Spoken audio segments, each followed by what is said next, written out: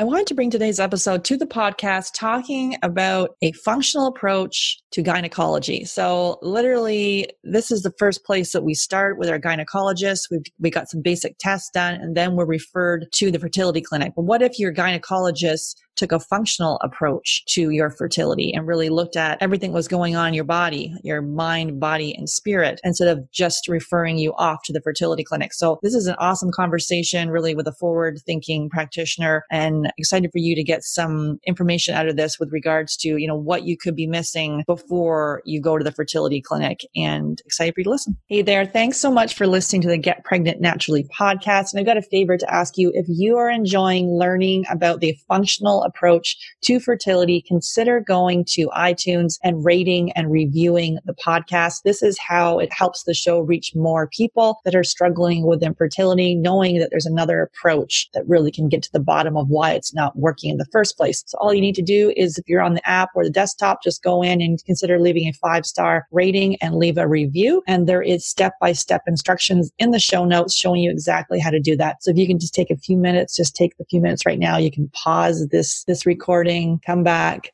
leave the review. It would really mean the world to me and help others that are on the fertility journey as well. Take care. Hey there. I regularly speak with five to 10 couples per week who are struggling to have their baby. And although we want to help everyone, we only have two spots available per month to work with us. So the Supercharger Fertility Discovery Call is for action takers really people who are ready to move forward so they can finally have their baby. And if you're not ready and you wait, the risk is you'll need to wait two to three months for a spot to open up. So if you're seriously considering working with us, go to Fab Fertile, F-A-B fertile.com and click on book a free call. Then you'll be all booked in and ready to spend 30 minutes to give you the action plan to getting pregnant naturally. That's Fab Fertile, F-A-B fertile.com and click on book a free call. One theme that keeps coming up with the couples in our Fab Fertile Couples Coaching Program is sleep. Whether it's insomnia, having a hard time falling asleep, waking up at night, or feeling tired when we wake up, sleep is critical for fertility and hormones. And that's why I'm so excited to have BLUblox as our podcast sponsor. So we're exposed to blue and green light from our phones, our tablets, our computers, indoor lights, and more. And this exposure impacts our melatonin production. Melatonin is essential for both female and male fertility. It helps determine the frequency and duration of our cycle and impacts sperm. There's lots of blue light blocking glasses on the market, but the ones from BLUblox, they've actually compared other popular brands and BLUblox block 100% of blue and green light while other brands fall short. So I have their sleep glasses. They have red lenses and the ones I have are a little translucent uh, frame and they're so stylish and really cool. And so they eliminate 100% of the blue and green light in the 400 nanometer to 550 nanometer range. So this is exact range that has been shown in clinical studies to disrupt melatonin and negatively impact your sleep. So all you do is wear your sleep glasses after sunset until it's time for bed and you'll notice improved sleep after just one use. And it's also cool to use when you're flying for managing jet lag. So I got to say I was a little skeptical about the noticing uh, improvement after one use, but literally I, did, I use these glasses and my sleep is actually already pretty good. I used them for one day and I have to say after one day, I had the best sleep of my life. I just felt so rested. So these glasses, they ship free and they're tracked for all orders anywhere in the world. And also they have all their frames come in prescription, non-prescription and reading glasses. Plus you can send in your frames and they'll add the blue light blocking and green light blocking uh, lenses to your frame. So this is an easy hack that you can add to your fertility toolkit. All you do is go to BLUblox, B-L-U-B-L-O-X dot com. Use the coupon code get pregnant podcast at checkout and receive a 15% discount. That's BLUblox, B-L-U B-L-O-X dot com and use the coupon code get pregnant podcast to receive your 15% discount. I didn't need to go to donor eggs. Obviously, mm-hmm. I don't mm-hmm. regret it. I have beautiful children. I could have done things differently, restored. I was still cycling back in my in my 20s. I could have looked at my health, the environmental toxins, the stress I was under, Many, many women are being told their eggs are too old. That's often merely an assumption that's not based on actual evidence. The reason being that there's no direct test of egg quality. You can't test egg quality. It's the man who's got a food sensitivity or he has a zinc deficiency. Like there can be a root cause to these symptoms that are, you know, quote unquote period problems that the doctor will pass you a pill without any question of why. And some part of you knows that if you can reframe your journey from not want to struggle, or if it is struggle, learn how to embrace the struggle. Learn how to embrace it. Most conditions in the child occur during the nine months of development. It's the, the genetic switches are turned on or turned off, and they're pre programmed. So you are in such a powerful, amazing position to do amazing things for your kids. You know, why is IVF the first step? Because we believe it should be the last step. Welcome to Get Pregnant Naturally, where functional medicine and natural fertility solutions will help you get pregnant and have your baby. Hey everyone, I'm Sarah Clark, the founder of Fab Fertile and your host. I believe the functional approach is the first step for anyone struggling with infertility, and my aim is to help you get pregnant naturally. Today, I'm welcoming Dr. Tabatha Barber to the podcast, and we're digging into what you wish your gynecologist would have told you about your fertility. Dr. Tabatha Barber has devoted her life to giving women a voice and a choice when it comes to their health and well-being. As a young girl, she struggled with self-esteem and identity issues, dealt with peer pressure, and survived the ridicule and stigma of becoming a teenage mother as she shared in her first published book titled From White Trash to White Coat, The Birth of Catherine's Purpose, those events led Tabatha to finding her purpose in life. Perseverance and grace, she was able to redirect her path in life and become a successful physician. Dr. Tabatha is double board certified in obstetrics and gynecology. She's a certified menopause practitioner. She's also completed training at the Cleveland Clinic's Institute for Functional Medicine and the American Academy of Anti-Aging Medicine. She cares for women one to one in her clinic as a functional gynecologist and is the creator and host of the Functional Gynecologist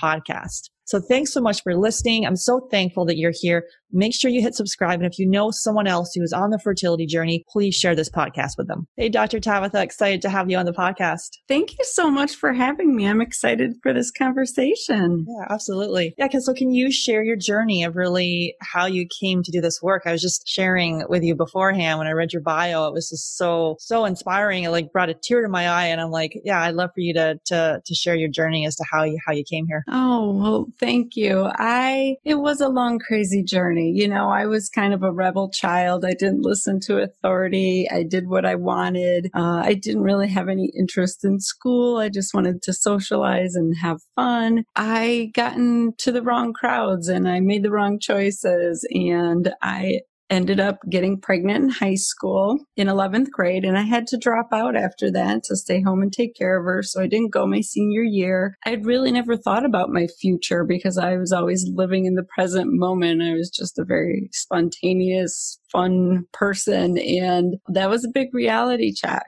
And what was a bigger reality check was how I was treated as a pregnant woman, or I guess I was still a child myself, but I was on Medicaid and food stamps and I was definitely treated differently. I was talked down to. I wasn't, you know, nothing was explained to me. I wasn't given options. I had no voice, no choice in the matter. Things just happened to me. And I had a really traumatic labor and delivery experience that scarred me.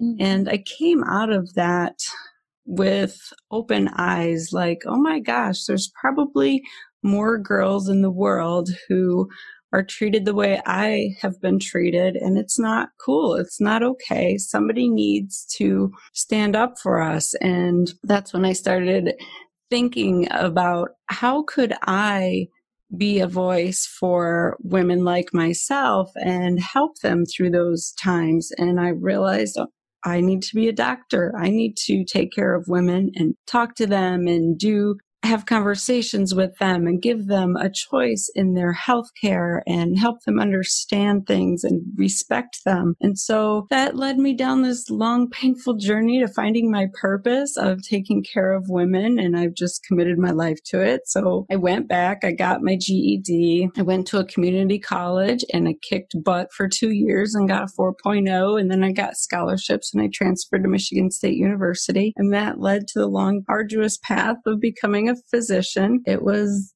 definitely one of the most grueling and painful things I've ever done. I don't regret it for a minute, but it was not healthy for my own self, mentally or physically. It destroyed me. And I lasted about 10 years after residency being an obstetrician and gynecologist, but I got to the point where it broke me down and I could no longer function. I actually had a back injury. I had to do the unthinkable and take four months off of practice, have back surgery, mm. which didn't help and I had to figure out how to heal myself. So I found the world of functional medicine and I healed myself after mm-hmm. conventional medicine failed me. And that was another eye opening moment like, wow, there's so many tools in the world that I could use to help heal my patients, and I didn't know anything about them. And so now I've been on another journey to just gain as much knowledge that I can and just really embrace the world of wellness as opposed to the sick care that I was doing before. Now I take care of women with conventional medicine and functional medicine. Yeah, I love that. And it is interesting where we sometimes have to have our own dark night of the soul kind of thing where we all, you know, and then we're like, wait a minute, we discover this functional side of things and then you, you can never look back. And sounds like that's kind of similar to you and yours. Yeah, definitely. As you're saying through going through medical school, very grueling and brutal. And, and then, yeah, years later discovering the functional side of things, which I think is to me very empowering, the functional side of things. Yeah, exactly. And so today, let's just want to take some general questions kind of around a functional approach to, to gynecology. So that's what you do. So, but first of all, I wanted to start off with some of the conventional testing for fertility. And if you could talk about some of the basics, if, if someone comes to you and they've, you know, trying for a year and they're under 35 or, or over 35 in uh, less than six months. Sure. Yeah. I was trained, you know, as a conventional OBGYN that there's a differentiator between women who are less than 35 and those who are over 35 because your ovarian reserve starts to go down. So the definition of infertility was you've been trying to get pregnant for a year if you're less than 35 and you've been unsuccessful, or less or six months if you're over 35. So that would give us the green light to go ahead and start investigating. And it was traditionally like you're going to think of possible factors of the uterus, the ovaries, the hormones um, and the pelvis. So that it was very much geared toward you know, your gynecological issues. There wasn't a lot of thought or concern regarding any other systems or lifestyle or anything like that. So it's standard to do day cycle day 3 labs and then check a progesterone on cycle day 21. So on day 3 we wanted to see what your FSH or your follicle stimulating hormone looked like. That's kind of the hormone coming out of your brain talking to your ovaries and saying, "Hey, it's time to ovulate. And so you want that level to be low. That level is what gets high in menopause. And then you want your estrogen to be a good amount, but not too high because that indicates that maybe your follicles are maturing too quickly and not releasing an egg. So we do those. And then day 21, you want your progesterone up there. You know, three to five is a decent number and you that would indicate that you ovulated and the leftover cyst is making progesterone to support a possible pregnancy. So we do those labs and then we usually start with a pelvic ultrasound where we look at the ovaries and the uterus to see is there anything obvious like cysts on the ovaries or fibroids in the uterus. The big one is you also want to make sure that you're doing a semen analysis mm-hmm. on their partner because there's not a lot of reason to go on and get, do more advanced stuff with the woman if it's a male factor issue, which it very often is. Um, I will tell you that men are hesitant to do this quite often. I've had a lot of patients who go through the rigmarole of getting an HSG done, which is a hysterosalpingogram, which is a very uncomfortable x-ray test where they put a catheter in the uterus and shoot dye inside there and then take pictures to see what it looks like um, as far as are your fallopian tubes open? Are there anything growing inside of the cavity or doing surgery, a laparoscopy. And women will go through all these things before their partner finally does the semen analysis and we find out they're, they're the major issue. But diagnostic laparoscopy is pretty standard as well. That's where we take you to the operating room, put you to sleep, put a couple little incisions in your belly, and then we look inside and we see like, is there endometriosis growing on the outside of your uterus or ovaries, on your bowels, on your bladder, things like that. You can also inject dye into the fallopian tubes during that procedure called chromotubation, and that can see if your tubes are open. And oftentimes, I'll tell you, having done that procedure, women will have blocked fallopian tubes and that will open them. So oftentimes just doing that procedure is enough to help them get pregnant. But that's pretty much the basic workup. Yeah, and I think it's interesting when you say about the semen analysis because yeah, women go through all these tests and then wait a minute, the male partner I speak to many that haven't even had, like, she's been through all this workup and he hasn't even done a, a sperm count or an, or an analysis. Or maybe it's just a, the very basic sperm count, but not like the DNA fragmentation, you know, uh, motility, any more detail. And as you say, well, it used to be 60, 40%, 60% female factor infertility, 40% male. Now it's more 50, 50. So really key to get those really, those basic tests first. Exactly. And it's such an easy test. Like literally I give them a cup to take home to their partner. They masturbate and ejaculate ejaculate into the cup. They bring it back into the lab within an hour, keeping it warm. And it doesn't have to be embarrassing. They can do it at home. It's not a big deal. You know, it's so much less than going through surgery or these invasive procedures. Mm-hmm, mm-hmm, absolutely. And so, what are you seeing, or what, what are some tests or questions do you wish that were asked during an appointment with your gynecologist for fertility? So, I will say this is what I learned in functional medicine. It's all connected.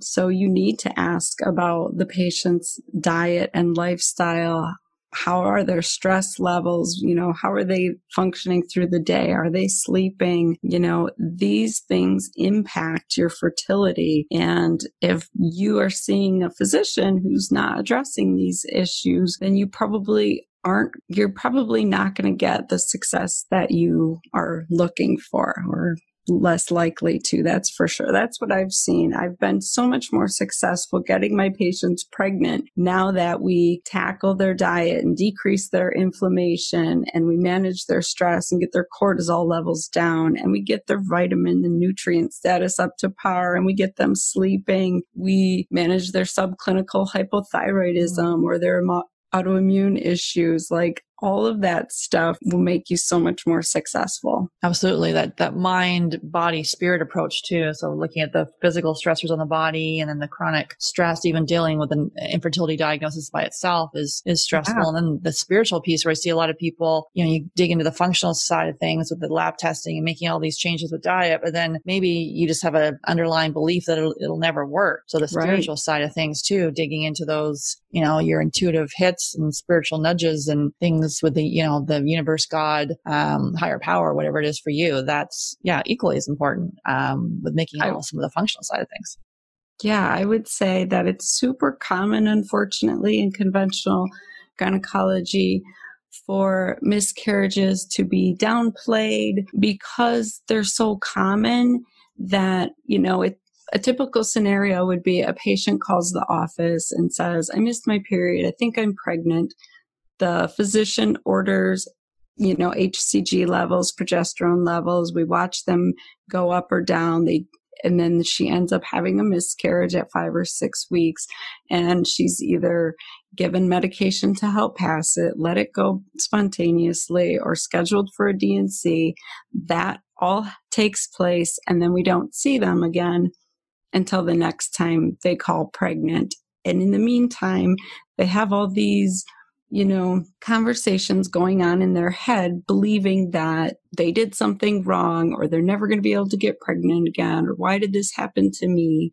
And I really don't think that we sit down and talk to women enough about why this did happen and how she can intervene and take control of her health so that it hopefully doesn't happen again. And I think because those conversations are hard and we're not really trained to do that as physicians. And so we just don't have them. Mm-hmm. Especially with the miscarriage where they're waiting to have three. What's your, your take on that? yep. So we're trained to not deal with it until it's after the third one. And then we do this huge workup and, you know, check for all kinds of zebras, all kinds of rare things instead mm-hmm. of common things. And so my approach is let's talk about it after the first one. Maybe it was just a fluke, for lack of a better term. I mean, a million and a half things need to go right for your pregnancy to occur and continue on. Like it is really a miracle. But there are certain things that you can do to optimize that. And to not discuss that after the first miscarriage is doing that patient a huge disservice. So often I realize that these women are just very busy, super stressed out. Then they're stressed out about trying to get pregnant. They're eating fast food. They're living on Mountain Dew and coffee and things like that. They're a little bit overweight. They have, you know, polycystic ovarian syndrome or you know, their blood pressure starting to go up, you know, things are trending in the wrong direction and nobody's dealing with it because they don't have an outright diagnosis that needs a medication yet.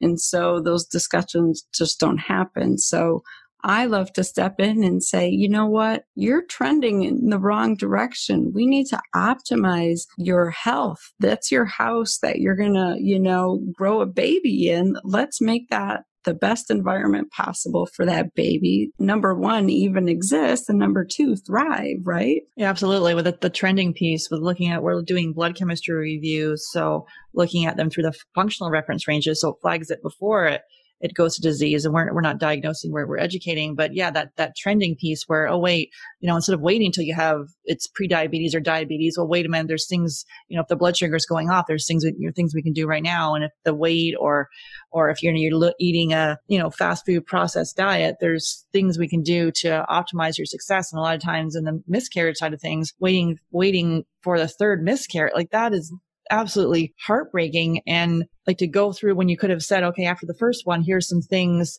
that you can do. And typically in conventional, it's like, it'll be making just very basic things such as, you know, eliminate your, eliminate alcohol. Don't, don't do drugs, you know, reduce caffeine and maybe look at you're getting your BMI in the, the right range. Whereas in the functional side of things, there's a, there's a very targeted approach and, and that, you know, that, that you can take. So there's a lot of missed healing opportunities. I think conventional medicine is trying or they're mm-hmm. starting to see a glimmer of things. You know, when Reproductive Endocrinology and Infertility Society came out and said, hey, maybe if we optimize thyroid function, women tend to get pregnant more often. And so then they started looking at that more closely. And I, you know, of course, it's because they have a medication that they can give to treat it. So it's an easy fix. But it did give me hope that they are starting to realize that all of our systems are interconnected. And if your thyroid's not functioning well, your fertility's not going to function well, right?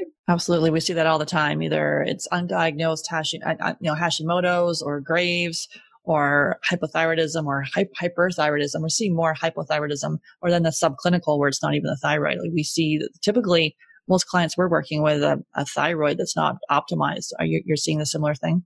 Oh yeah, all the yeah. time. And so what do you so this kind of goes into the next question there. So what do you think is regularly missed with someone who's struggling with infertility? From a conventional standpoint. Well, I kind of alluded to it. So yeah. I think stress is the biggest key because we are all way over you know, stressed. We are go, go, go nonstop from morning until night, too much on our plate. We're not stopping to process everything. So we are making cortisol and adrenaline like all day long in ways that we're not supposed to. And every time we do that, we steal progesterone from our hormones. And so we get super imbalanced and that usually, you know, leads to infertility. So or it leads to miscarriage as well. So it, I think stress is the number one factor and the most ignored factor. In addition to that, I would say the nutrition and the sleep.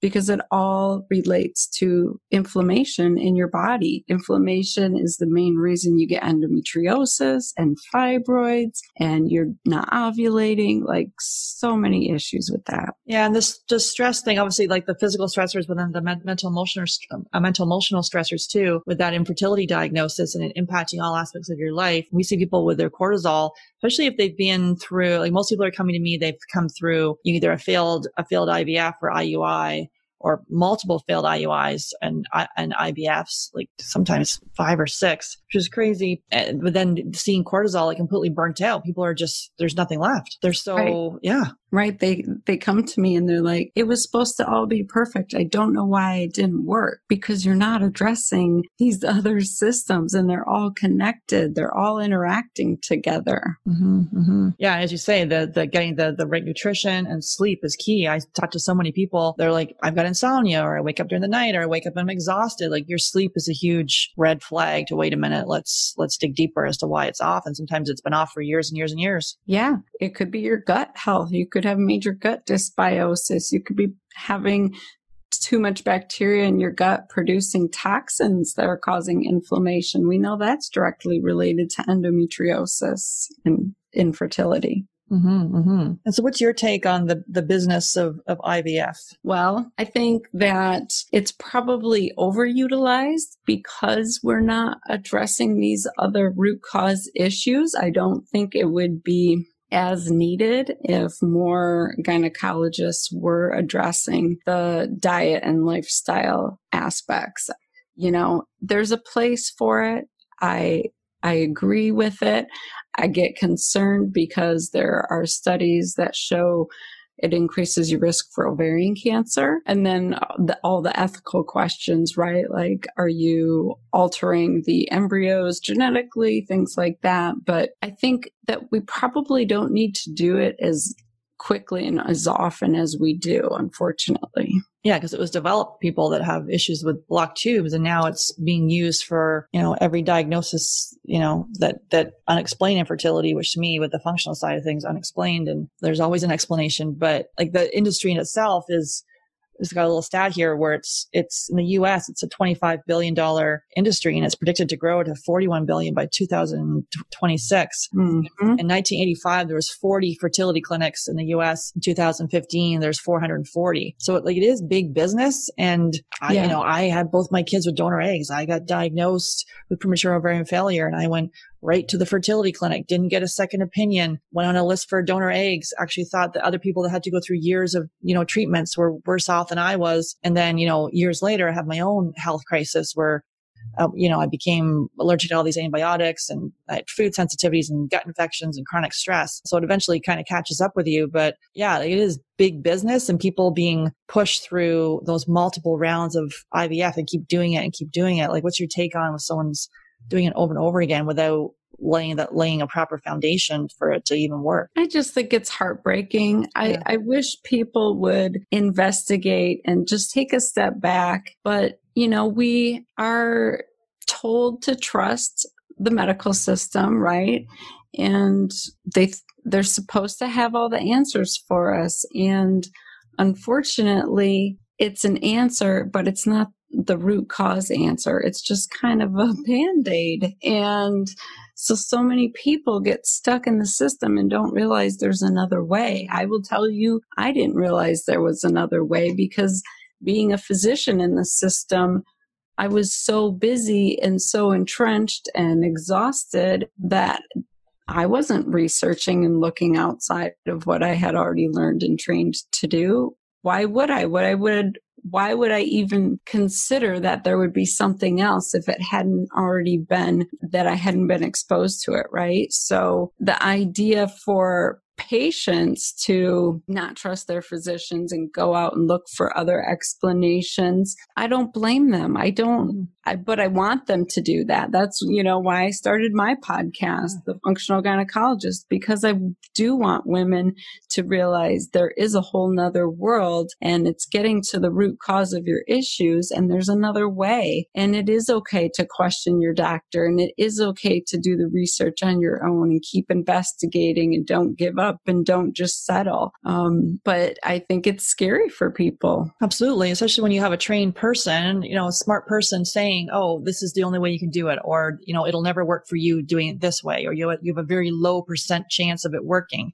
And that, you know, well meaning and advice, or maybe not well meaning, you know, this is what they're trained in. They're not, they don't, if a physician is not trained in a functional approach, they don't know how powerful, you know, diet and lifestyle changes are, but that gets embedded in someone's consciousness and they can't even shake it because it's like wait a minute this this this person over here told me it's not going to work exactly i mean i have cancer patients whose oncologists tell them it does not matter what you eat yeah. it does not matter what your vitamin D level is. And it just makes me sad, you know? And so I'm like, okay, well, we got to keep educating people. Mm-hmm. We have to get people's eyes open because once your eyes are opened, then you keep looking, right? right. But you have to get to that point. And so it's going to be a long time, you know, but it takes people like you and I to just keep spreading the message and giving people hope. Yeah. Cause once you discover this stuff, you're like, why does everybody not know about this? And it's like mm-hmm. before it was on my soapbox and now I guess my soapbox is, is the,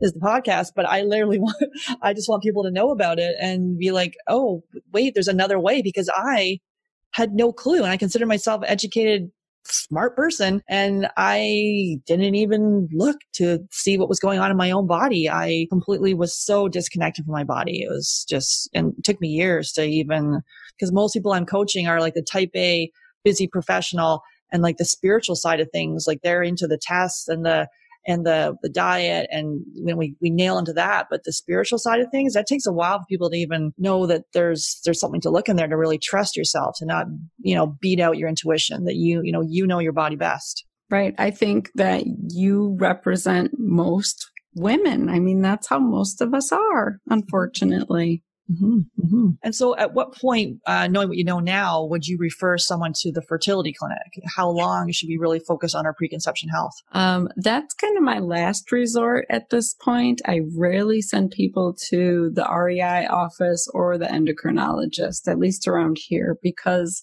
what I have found is they are quick to do the procedure or give the pill. And I want to spend time with them revamping their diet, changing their lifestyle, really looking at what, how are they dealing with their emotions and their baggage and all their relationship stuff? You know, what is holding them back from getting healthy?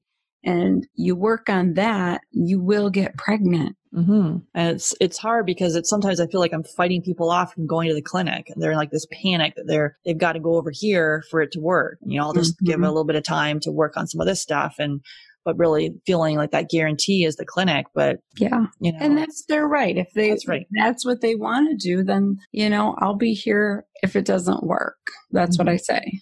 Mm-hmm. And so, okay, let's go into a few questions here about, okay, what's your take on the birth control pill and, and how it impacts um, hormones and fertility? Yeah, that's a, a controversial one as well because it's used for everything in conventional gynecology. It's supposed to you know, regulate your cycles, fix your cycles, fix your hormones, make you feel better. It's not doing that. It's shutting down your hormone system. It's overriding it with synthetic hormones. And so it may look like you're having a regular cycle, but you're really just having a withdrawal period from these synthetic hormones that you're taking. And we are now understanding that that is not the healthiest situation, especially for our young girls.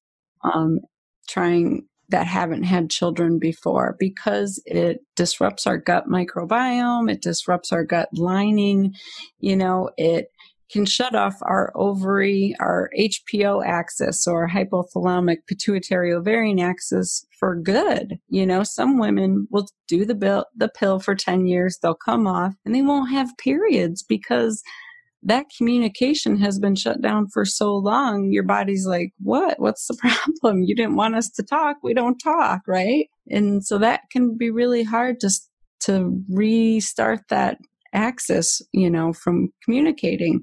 So I think that medicine thought it was the end all be all greatest thing. It was more than just birth control. It was, you know, giving women their freedom. Then you didn't, then they whole started the, oh, you don't have to have a period more than three or four times a year. And they mm-hmm. tried to, you know, give you these prolonged pills.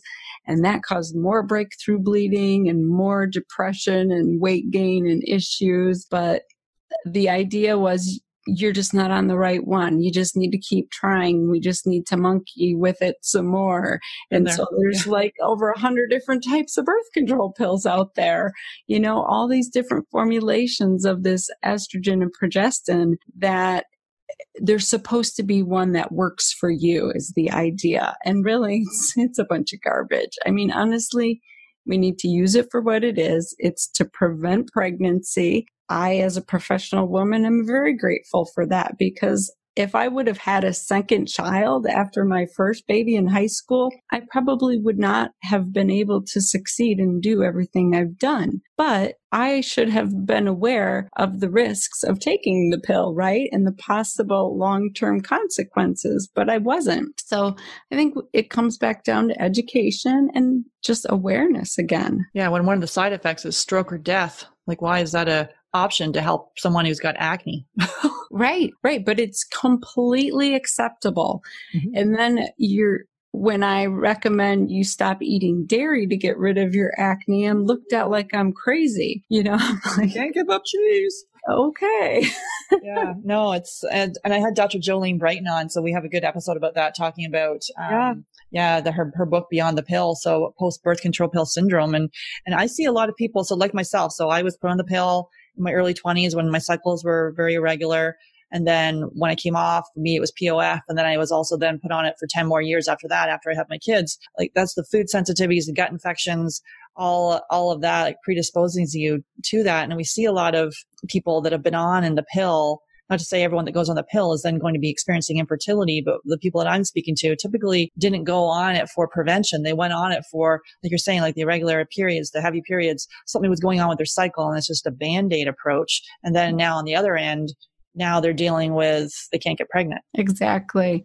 I mean, I just had a nurse practitioner ask me yesterday about a patient who's 36 years old. She's kind of an uncommon situation. She's 36. She's not sexually active. She doesn't plan to be or have any children. She's been having heavy periods for six months. And so the approach was should I just start her on birth control pills or should I get an ultrasound first? And I'm like, she's not sexually active. Like, birth control pills are not the answer, you know? I mean, you can offer that to her, but you need to have an honest discussion. Like, this is not really what they're for. We use it for this because it's a good band aid and it will lighten up your periods, but it's not going to get to the root cause of why you have estrogen excess, which is most likely your obesity and your stressed out lifestyle and your poor diet, right? So that's where I still struggle is because, you know, trying to work with my conventional colleagues on things and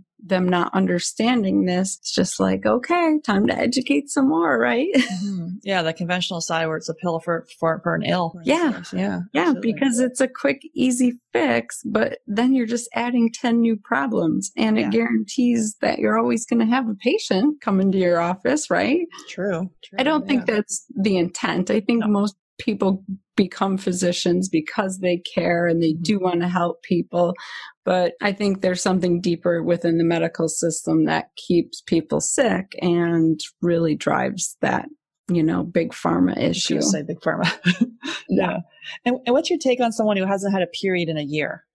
Is that is that full menopause at a year, or like obviously obviously there's amenorrhea, but like what's your take on with low AMH, high FSH, no period for a year? Well, it depends on their age. If they're over 45, I'm less likely to, you know, think about anything other than just menopause. But if it came out of the blue, that's a little weird. If they're younger than that, you need to start investigating as to what's going on because it's often reversible. You know, if you listen to Dr. Anna Cabeca, she reversed mm-hmm. her premature ovarian failure and went on to have a baby. Like, I know. I'm having her on the podcast in a couple weeks. Yeah, it's totally doable. So I think that we have this mentality, at least in the United States, that having a period is a big inconvenience and I don't really want it. So mm-hmm. I get a lot of patients who are like, like, I can't wait to be done with this and be in menopause. I'm like, you are asking for the Mm-hmm. wrong thing. I promise you, you know, that will age you in so many ways.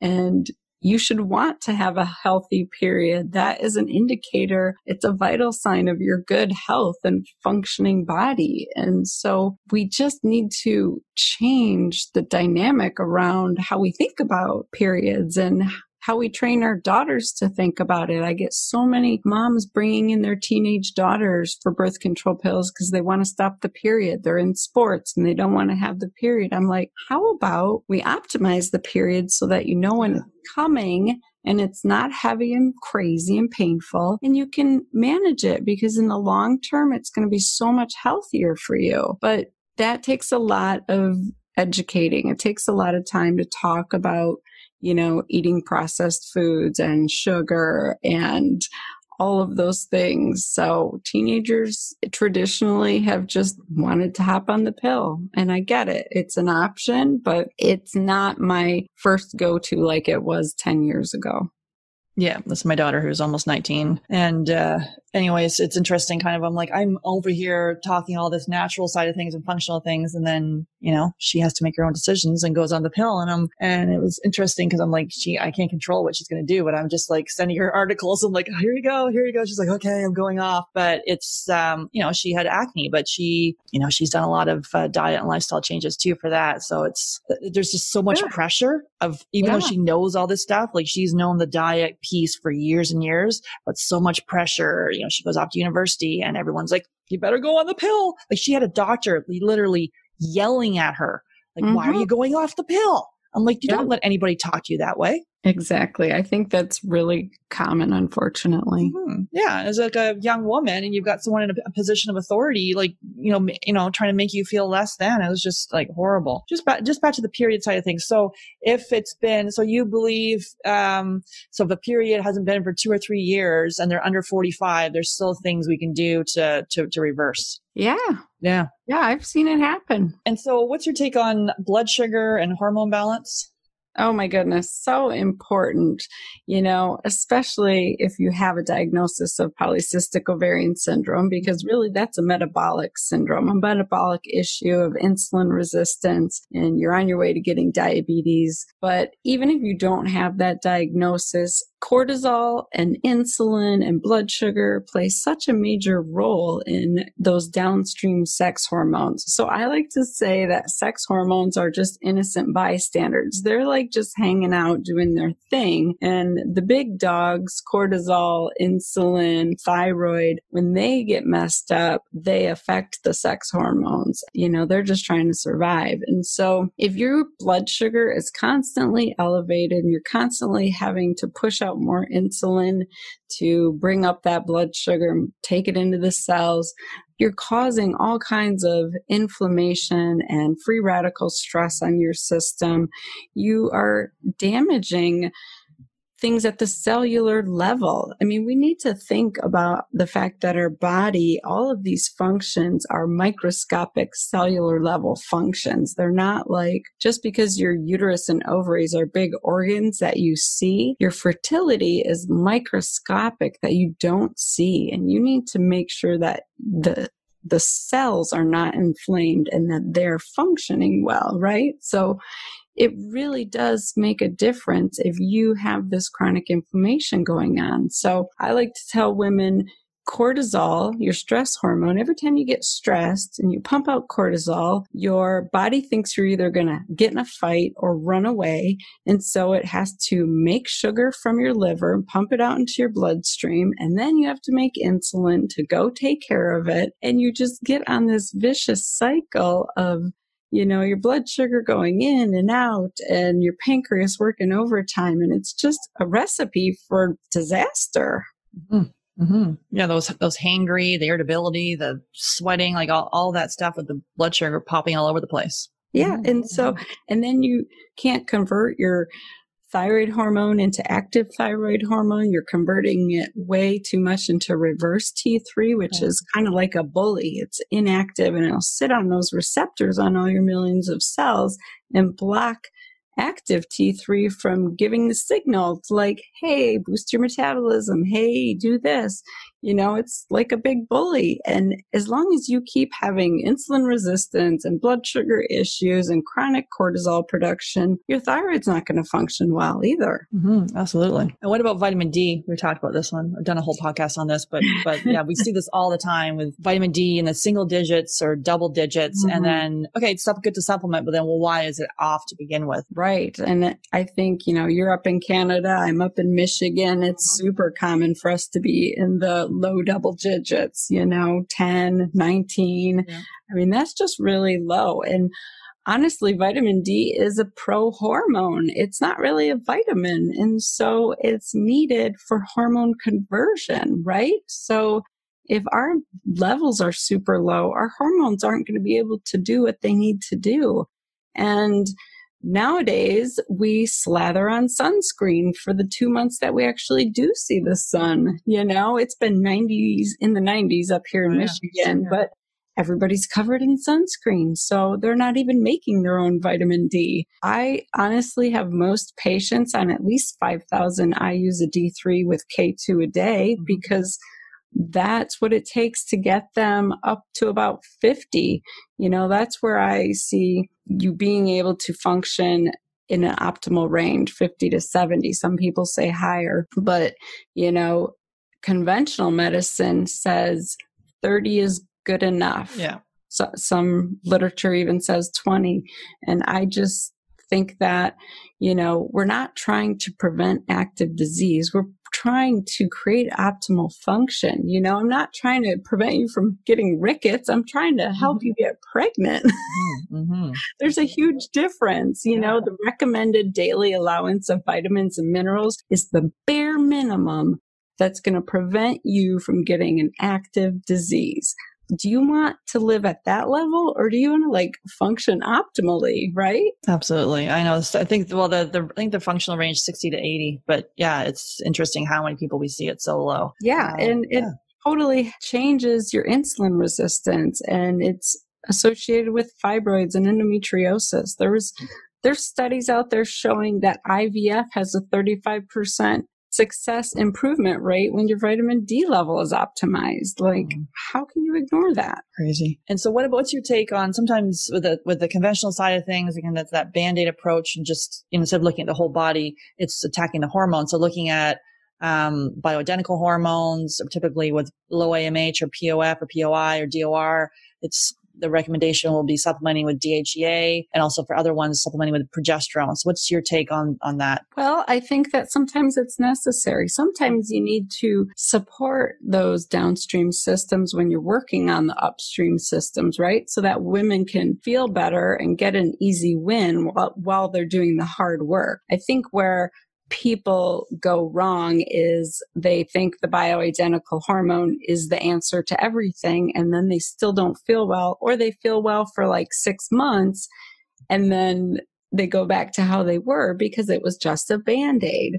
And so I think it's super important to do the diet and lifestyle. Like I sound like a broken record, but it's so true. Like you can take the supplement, but your body's still gonna steal it if you're, you know, trying to make too much cortisol, or you can take the thyroid hormone. And if your cells and receptors can't even bind to it and hear the signal, it's not really going to matter. Like it's the same thing with um, sex hormones, with your progesterone and estrogen. So if you have like premature ovarian failure and you've literally healed your gut, you've done the emotional work, you're like got your priorities straight, you're eating a low inflammatory diet, and your ovaries still aren't back online, yeah, I would say I personally would take bioidentical hormones because you're going to age prematurely. You know, if you're in your 30s,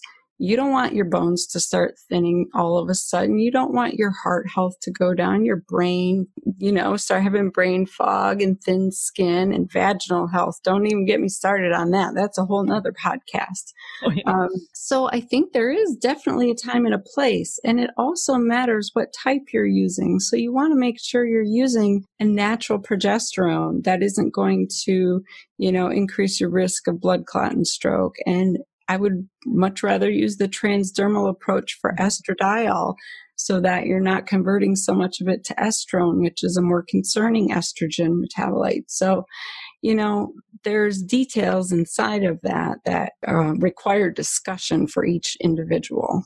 Mm-hmm, absolutely. We've got a qu- couple quick, um, well, not quick, but the, I'll try to make them quick, uh, mm-hmm. audience questions here. So one is about, uh, early ovulation. So, um, ovulating before cycle day 10. What's your take on that one? Yeah. So maybe your estrogen's too high and your antral follicles are maturing too quickly um, I would go back to the basics of trying to optimize your diet and lifestyle and see if you can get your stress dialed in. And, you know, I don't see that very often. I'll be honest with you. Mm-hmm. Yeah. Cause it could be, yeah, as I say, the stress or there could be hypothyroid is- issues, but yeah, the stress, mm-hmm. the diet, and yeah, there may be estrogen dominance potentially there too.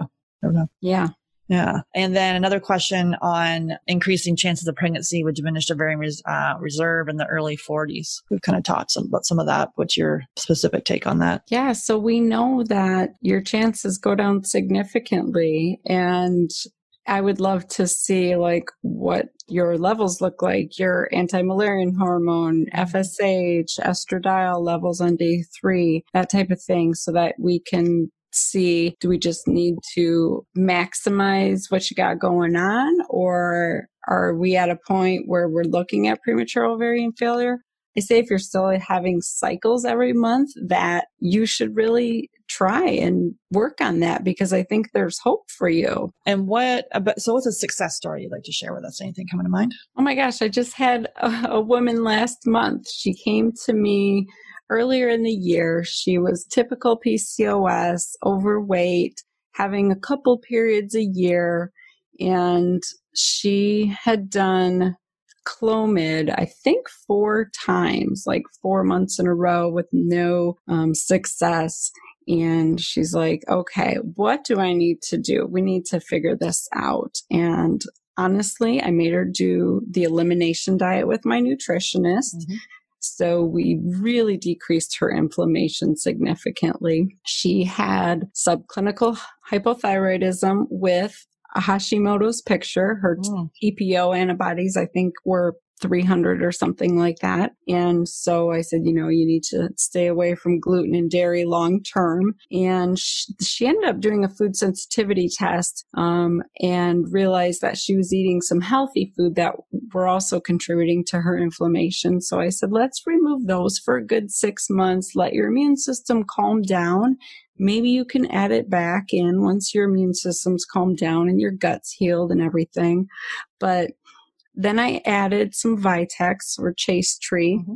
to her. And like literally two months later, she was pregnant mm-hmm. and she had lost 30 pounds within that time period. Wow. She had so much energy. I mean, I did some vitamins and other things as well, but just decreasing that systemic inflammation, I think was key for her to like be able because I, when you think about fallopian tubes it has millions of little villi inside of them like little finger like projections that have to grab the egg and sweep it down through the tube and then the sperm has to meet it and once that embryo's developed those villi have to function and get it down into the uterus and so many things will damage those villi, just like the villi in our intestinal mm-hmm. lining that helps sweep food and nutrients and things like that. And so we know that smoking destroys those villi in the fallopian tubes and chronic inflammation. And so getting that to function better, I imagine makes the sperm able to get up there, meet the egg, and then have that egg actually get to the uterus and implant. So it's back to that microscopic stuff, but I mean, she healed herself just by revamping her diet. Yeah, I love it. We see it all the time. I love it. I love it. Yes. And so you have a free download for our listeners. Uh, so it's a functional gynecologist guide to, ba- to balancing hormones. And I'll have the, the link in the show notes. But what can they expect in that uh, guide? So we talk about your gut health and your liver function. The liver is a major detox you know, center for our system, for our hormones, our, our, estrogen metabolites, especially. So I talk about how to optimize function of that and how to balance your stress to decrease your cortisol production and all good tidbits like that. So lots of usable daily tips that you can incorporate to really change how your body's functioning. So definitely go to the show notes and grab your free download of the Functional Gynecologist Guide to Balancing Your yeah. Hormones. Yeah, and thanks so much, Dr. Tabatha, for coming on. This is like I, just love this conversation, and thanks for all the work that you're doing uh, and to you know to to further the message around this and really to empower women. Thank you so much for having me and keep up your good work. You're doing awesome. Melatonin is important for female fertility. It helps regulate hormones and maintain the body's circadian rhythms. Plus, it helps determine the frequency and duration of the menstrual cycle. Plus, it impacts sperm count and motility. Blue and green light negatively impact our melatonin production. That's why we recommend BLUblox blue and green light sleep glasses to all our one to one clients. Simply go to BLUblox, B L U B L O X.com, and use the coupon code GET Pregnant Podcast at checkout to receive your 15% discount. That's BLUblox, B-L-U-B-L-O-X dot com and use the coupon code Get Pregnant Podcast. Hey there, I regularly speak with five to 10 couples per week who are struggling to have their baby. And although we want to help everyone, we only have two spots available per month to work with us. So the Supercharge Your Fertility Discovery call is for action takers, really people who are ready to move forward so they can finally have their baby. And if you're not ready and you wait, the risk is you'll need to wait two to three months for a spot to open up. So if you're seriously considering working with us, go to FabFertile, F-A-B, fertile.com and click on book a free call call. Then you'll be all booked in and ready to spend 30 minutes to give you the action plan to getting pregnant naturally. That's FabFertile, F-A-B fertile.com and click on book a free call. I'm excited to offer you a special gift. If you are a U.S. resident, text Fertile, F E R T I L E, to 55444. You'll be prompted to enter your email address and you'll receive our fertility yoga download. In this 20 minute intro video, we focus on a calming and peaceful practice to connect back to our heart. These simple yoga poses can help quiet negative thoughts and make you feel more in control. Download it now and get started today. For US residents, text Fertile, F E R T I L E, to 55444. For non US residents, go to Yoga Freebie, F R E E B I E, to access your special gift. That's yogafreebie.com to access the free fertility yoga download. The Get Pregnant Naturally podcast, including show notes and links, provides information with respect to healthy living, nutrition, lab testing, and is intended for informational purposes only. The information provided is not a substitute for medical advice, diagnosis, or treatment, nor is it to be construed as such. We cannot guarantee that the information provided on the Get Pregnant Naturally podcast reflects the most up to date medical research. Information is provided without representation or warranties of any kind please consult a qualified physician for medical advice and always seek the advice of a qualified health care provider with any questions you may have regarding your health and nutrition program.